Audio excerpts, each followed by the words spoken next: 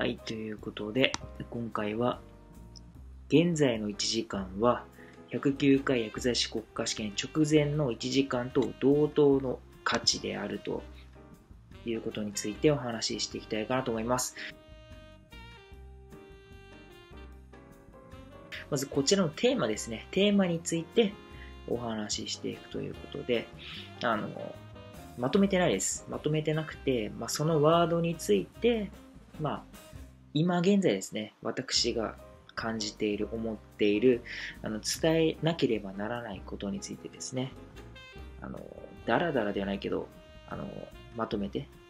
お話ししていきたいかなと思います。で、えー、このことですね、についてなぜ、まあ、動画として出していこうかなと思った理由としては、今現在6月なんですね。まあ、7月に差し掛かる月で、まあ、おそらくこの動画を投稿するのは、まあ、6月末もしくは7月頭なんですけど、今現在皆さん国家試験の勉強をしていると思うのですが、その1時間ですね、もう死ぬ気で必死で、もうこれ以上勉強できねえっていうぐらい勉強されていますか？もし、もう必死で死ぬ気で勉強してますという方がいらっしゃったら、もうそのままで結構です。ただ、もし、ちょっと甘めというか、まだ全然余裕があるというか、あの、必死ではないなとか、死ぬ気ではないなって思ってる方いらっしゃったら、まあ、この動画について、まあ、このお話について言うような話になるんじゃないかなと思います。で、何が言いたいかっていうと、まあ、タイトルでまとめてるんですけど、今の勉強してる1時間ですね。と、国試直前、まあ、今年で言うと2月の18、19に国試あるんですけど、例えば2月の1日とか10日とか、その日の1時間と、今現在、今あなたが勉強してる1時間の価値は同じです。はい。なので、もし今現在が2月10日であるならば、多分必死でやってると思います。もう1週間ぐらいなんで、もう詰め込むだけ詰め込んでやると思って、朝起きてからずっと勉強して、疲れて寝るみたいな、そんな生活を送ってると思います。はい。で、もしそのような生活を今送ってないとするならば、まあ、その理由によっては、まあ、今の勉強で精一杯っていう人もいると思うんですけど、おそらく大半の人間は、まだ全力を出してないと思います。はい。で、今後どうなるかっていうと、その全力を出し切れてない人が、まあ人口っていうと、国家試験受験者の中で言うと、まあ、大半が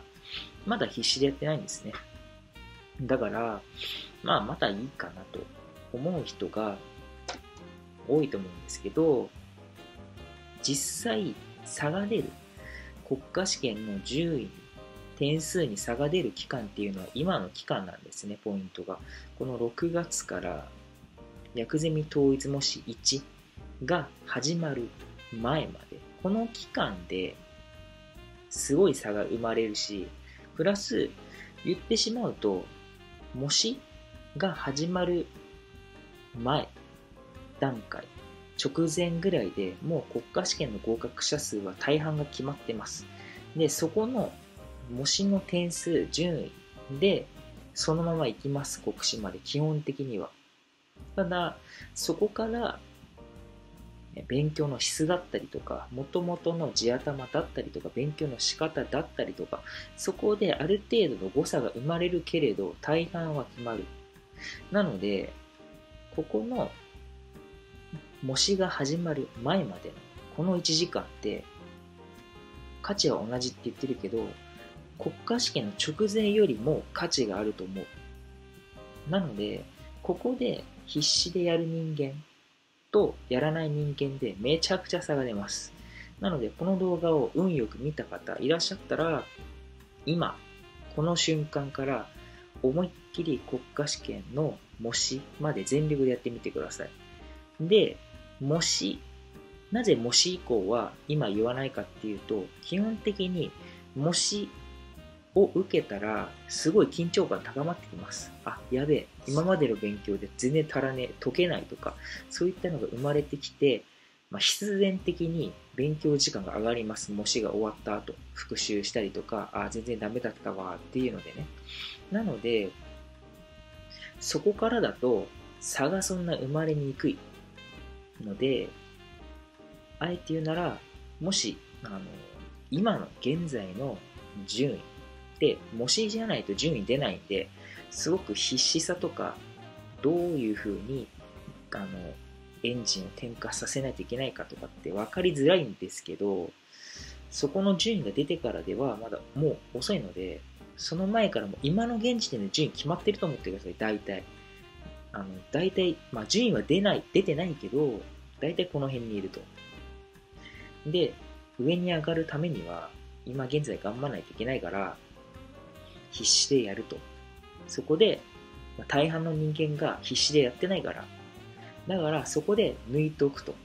で、模試が来て、そこまでの順位繰り上がってるから、あとはもっと人より必死でやってやるっていう意識でやってれば、そこの順位のまま行くから。なので、一番大切なのは、今、現在必死で勉強をするということですね。まあ、すごい基本的なことなんだけど、今の時期って、すごく気持ちが入りにくい時期なので、この模試もないし、しかも108回薬剤師国家試験が終わってから数ヶ月経ってかなり2月に終わってるから、こ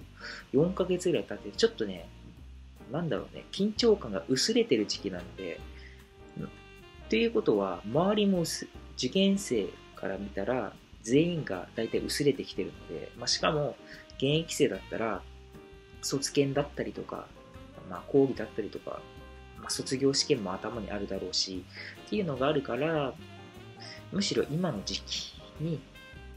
やらないと、今後逆転するのがハードルが上がると。今逆転するのは、模試以降で逆転するのより全然ハードルは低い。だから今やるべきっていうことですね。しかも一番の目標は、皆様の一番の目標は109回薬剤師国家試験に合格することなので、その目標に向かって一番ポイントになるのがそこ。なので、今、必死でやると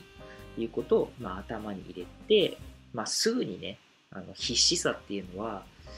あの、現れないので、今現在よりも、だいたい、まあ、1%、5%でもいいですよ。あの、まあ、さいつもの勉強時間より30分ちょっとプラスするとかを毎日繰り返していれば、勝手に必死モードの時間になっていくので、まあ、今から、例えば今、5時間1日勉強してるっていう人がいるならば、5時間半今日からするということを徐々にやっていけば、その30分分が人より差がつくということになるので、ちょっと試してみてください。またこのように一つのワードを、え、動画としてあげて、その内容について、え、今後ですね、すごいあの文章とかそういうのでまとめないで話していくっていうことを今後やっていこうと思います。結構、まとめるのとかって時間かかるので、その時間がかかってその一つの動画、まあ、綺麗に仕上げるっていうのも大切なんですけど、今現在、すげえ、絶対今、ピンポイントに大切な情報っていうのは今出さなければいけないので、まあ、この動画に関して言うと、まあ、プラス字幕入れたりとかそういったあのプラスとかしていくんですけど、その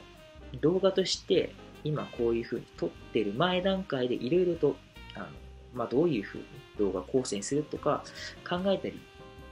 して動画としてアップしてっていう工程っていうの結構大変っていうか時間がかかるのでそこを省略して一つのワードに対して今現在思っていることについて、まあ、動画として出して皆さんに、えアップしてあの聞いていただくということが、ますごく有益な情報提供になるんじゃないかなと思って始めていきます。はい。なので、えーまあそんな感じです。はい。皆さん頑張っていきましょう。ご視聴ありがとうございます。薬剤師国家試験攻略メソッドは無償で運営させていただいています。そのため皆様のご協力が必要になってきます。MASA46494 の YouTube チャンネル登録、Twitter フォローをよろしくお願いいたします。それではまたお会いいたしましょう。